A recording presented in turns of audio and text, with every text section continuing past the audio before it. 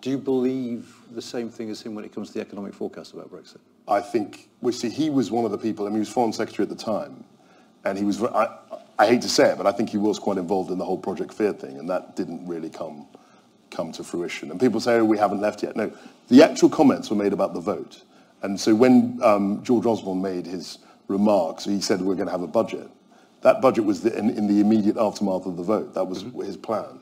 It wasn't a budget in, at some subsequent mm-hmm. date where we would, we would have left.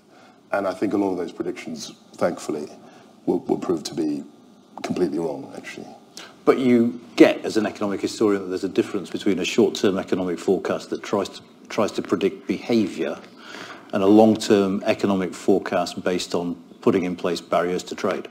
Yes, I do. But the problem is, is that there, if you're making, which they did, predictions about what will happen in 2030, Yeah. there's no earthly power in the world um, which can, can describe what happens in 2030. And my, my, my father's an economist. I was an economic historian. And I think broadly, when uh, Michael Gove said, oh, we don't believe in experts, I think that was, he didn't phrase it that um, nicely. But I think there's a broad point about the, the pretensions of economics. I mean, economics is essentially a social science. It was known as political economy until essentially the middle of the 20th century, broadly, okay, the late 19th century.